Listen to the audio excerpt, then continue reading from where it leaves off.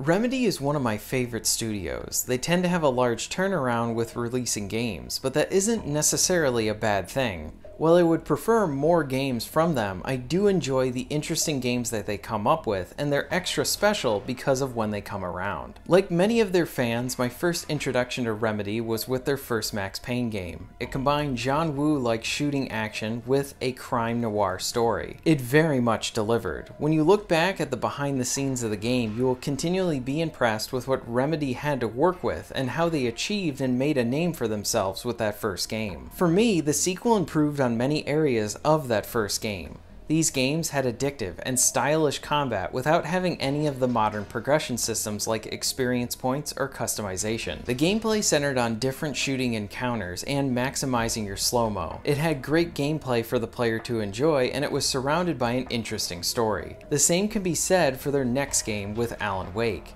a supernatural mystery with a focus on light and dark mechanics within the shooting action. Alan Wake is probably my favorite game from Remedy, and like many, I hope to see a proper conclusion to that story. My point with all of this is to both show how Remedy would make third-person shooters, but there's also an interesting element that they weave into them, whether it's the slow-mo mechanic of Max Payne, the light mechanics of Alan Wake, or the time abilities of Quantum Break. And you're not playing a Remedy game right if you do not try to interact with most of the objects within the environment. These types of things almost turn into hidden and fun things that you can find within their games, and they turn into fun interactions or just references to their prior games. Remedy is a developer that I adore. I'm always interested when they make a new game. I was excited to hear about Control and see what interesting mechanics they would come up with and where the story would take me. My hope was that this would be another Remedy experience that would fit nicely in their impressive portfolio. Ladies and gentlemen, I present to you my review for control.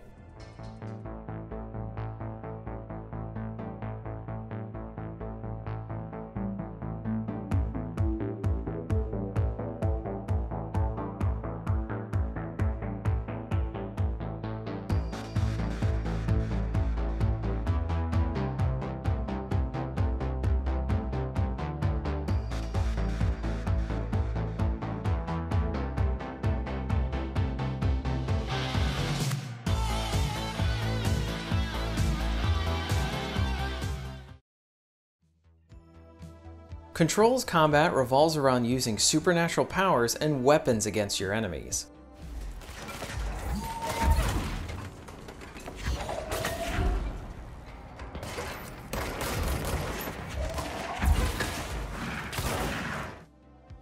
Within the game, you essentially have one gun and can change that into different forms for different uses. You start out with the handgun form and then you can later upgrade it to the shotgun, machine gun, or other forms. The shooting works a bit different than you would initially think in that once you use up all your ammo, you need to wait for your gun to recharge before you can go back to firing.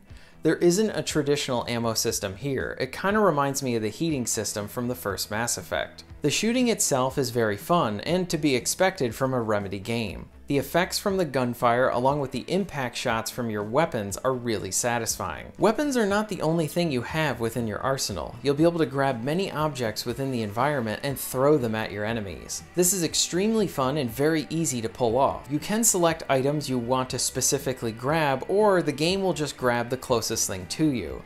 Since the combat encounters can get really chaotic, this is most appreciated. Throwing objects at enemies is really satisfying since they react to that object. Even when you're pulling an object towards you to be able to then throw it at an enemy, that can then hit an enemy and cause them to fall down. You gain other powers as well to help you in exploration and combat. You can create a shield that will block enemy fire and you can be able to levitate for a short period of time. The powers and your weapons creates the best part of the game. The combat is loads of fun.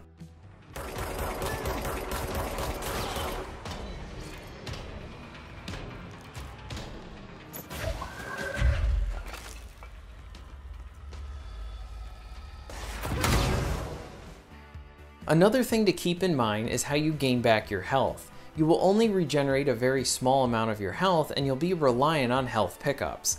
Each time you kill an enemy, they will drop health for you.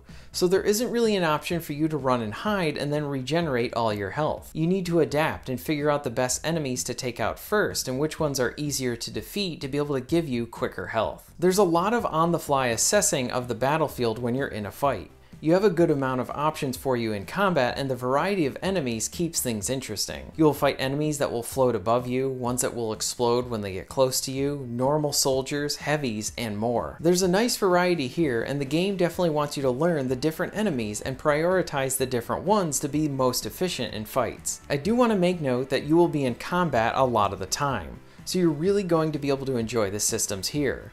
With her previous game, Quantum Break, I felt like an action sequence would end right as it was getting started. That isn't the case with Control. There's one section towards the end of the game that has a new song playing from Poets of the Fall and has some of the best visuals within the game, and it's also one of the best set pieces within the game as well. Lastly, there is a sort of loot system to the game. As you defeat enemies, they will drop different materials and currency for you to be able to upgrade your weapons or get new mods for your guns or yourself.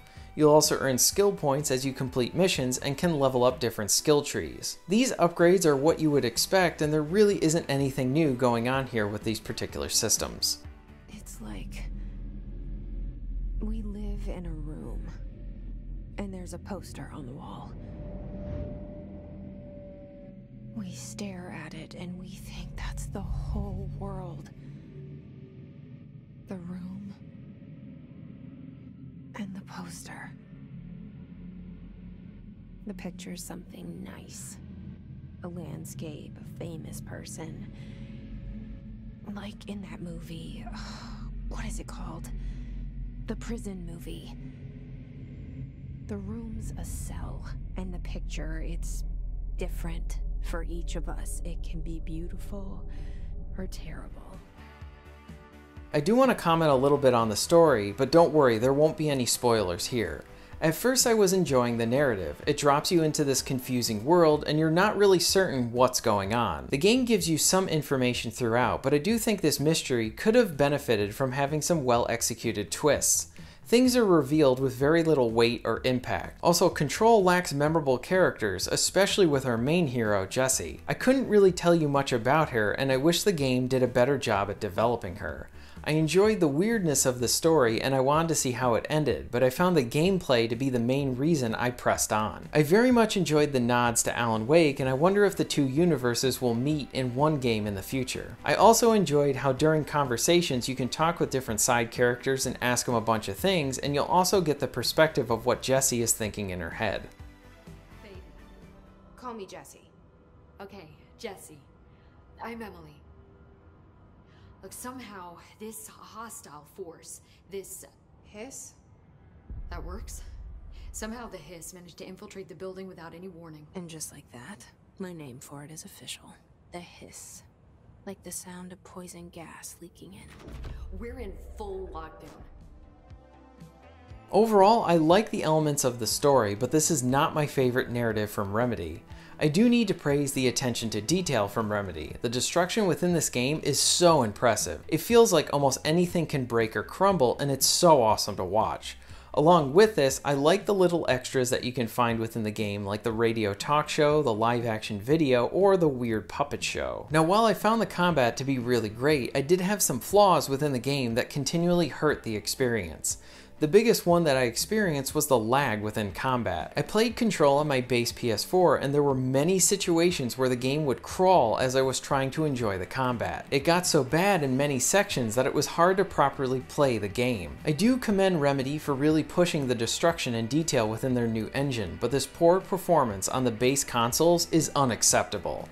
The game apparently runs better on the Pro versions of the consoles, but the game should also run well on the base game systems. It honestly feels like no one tested the frame rate on the base systems, especially with how bad it gets at times. And this can also cause some of the harder fights to feel cheap, since many of the enemies can kill you in a few hits, so then you're fighting them, but you're also fighting the game itself because of the lag. It would be one thing if there were only a handful of situations that had this lag issue, but many sections have this issue. Apparently Remedy is working on on a patch and I hope it's released soon.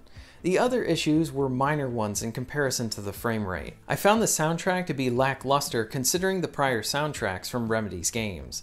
There's a few sections where if you miss a jump, you're gonna instantly die, And the last issue I had was how the checkpoints worked. There are set points that you unlock for fast travel and they're also used for checkpoints. If you die within an area, your progress and items are saved, but you need to then run back through the area to get back to where you died. It feels tedious to need to do this. While the bad frame rate was a big issue for me, I still did enjoy the game. Overall, Control is one of 2019's most unique games. The story sells a decent mystery that is backed up by great gameplay. When the frame rate was stable for me, I very much enjoyed throwing objects at enemies and shooting them with my gun. Exploring some of the environments was enjoyable with finding the secrets and different easter eggs. The destruction is very impressive and it's something I hope they use in their next game. I hope they fix the frame rate issues soon. If you only have a base system, then I would recommend and wait for a patch before you buy this game.